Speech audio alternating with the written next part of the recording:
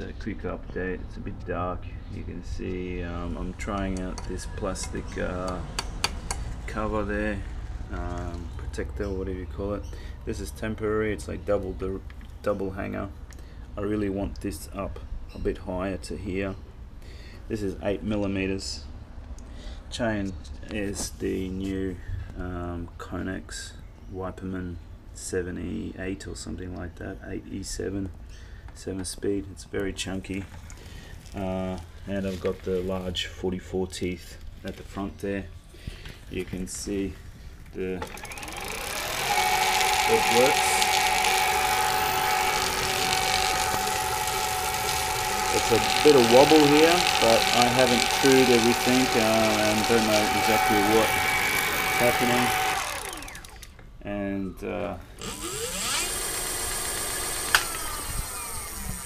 a bit of wobble in That's just at uh, 50, uh, under 50 volts, 49 volts. Uh, have gone to 3P temporarily. Um, I can't really carry more than 12S for now. Um, and anyway, you got to match, have to match up your controllers. This is just temporary like this. I'm going to turn it around. I was just testing to see how things fit without having to do more soldering. Um, I do like the tidy look and not having wires near the chain.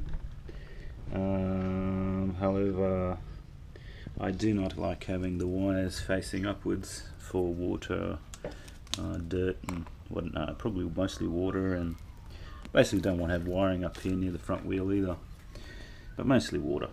So these are going to have to face dangling down here and tucked in away in there somewhere. Apart from that, that's all I got to say.